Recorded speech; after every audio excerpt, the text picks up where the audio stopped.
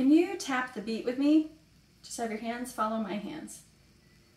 One, two, three, one, two, three, one, two, three, one, two, three, one, two, three, one, two, three, one, two, three, one, two, three. Freeze. So, did you hear that beat? One, two, three, one, two, three. And if you look up here, you'll see I have one, two, three, one, two, three, but some of them are missing. So here's a challenge for you. As we sing this song, let's clap this time. We're going to clap the beat, but when you don't see a number, you don't clap. All right, so let's give it a try.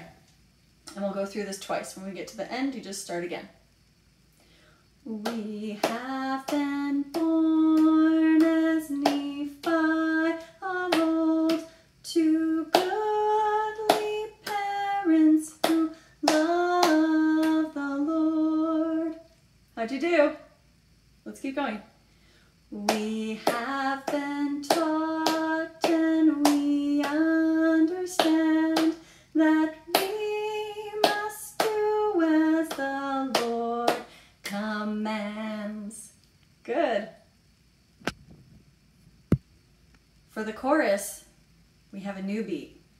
All right, so it's changed. Take a look. So we're going to clap on the numbers, not clap on the spaces. Ready? With the chorus. We are as the army of Helaman. We have been taught in our youth. Good. And we will be the Lord's missionaries to bring the world